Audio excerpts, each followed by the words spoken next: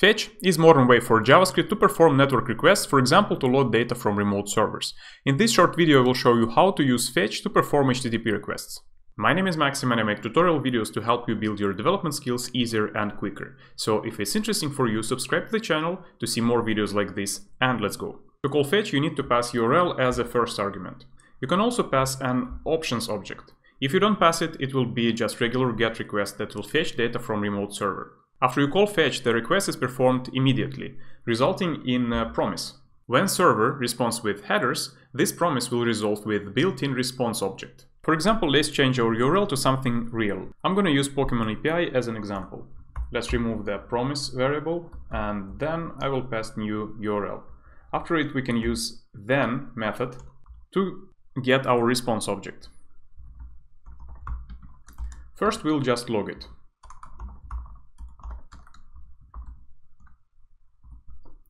Let's save the code and as you can see on the right pane, we got the response object.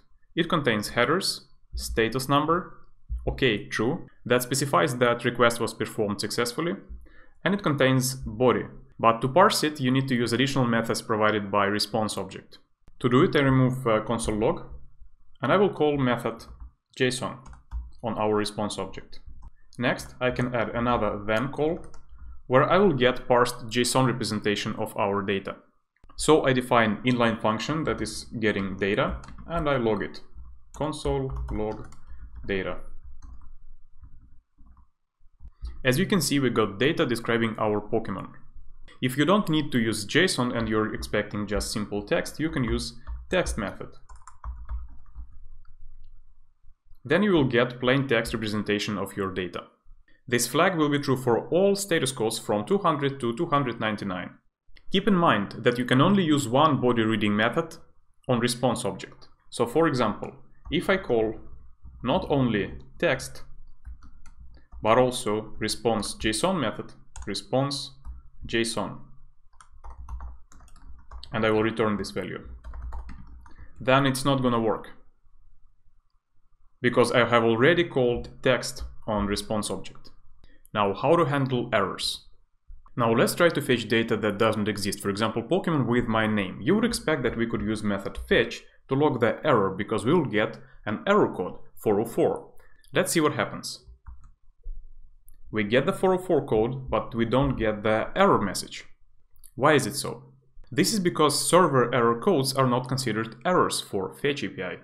Only network errors, for example if you can't connect to internet at all, or if something happens inside fetch method, you will catch the error using catch method.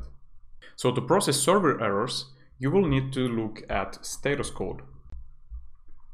You can use status OK as a signal that request was performed successfully. Otherwise, something wrong happened. Let's log success, sol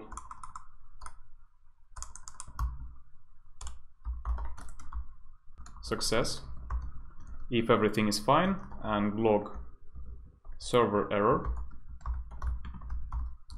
if we get some error code. Now we get server error message. So this is how you process server error codes. Now we know how to perform regular GET requests, how to post data. For this example, I'm going to use another API. It's JSON placeholder that allows me to send arbitrary data to it. Here, for example, I'm making a post request. And as you can see, I'm now using our options object. First thing we're going to do is specify our method. We specify post, but it can be anything. It can be update, delete, put, any HTTP method. Next, we specify our body. This is the data that we're trying to send. If we want to send an object, we need to stringify it using JSON stringify method.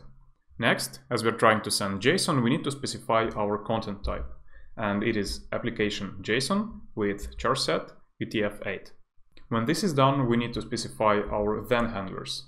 The response we're gonna get will also be a JSON object. So we will parse it using JSON method, and then we will log it to our console. And as you can see, we got our object, proving that we successfully created a new post in this fake API. That's it about Fetch API. If you like this video, then check out other videos linked over here and subscribe to my channel to see other videos just like this one.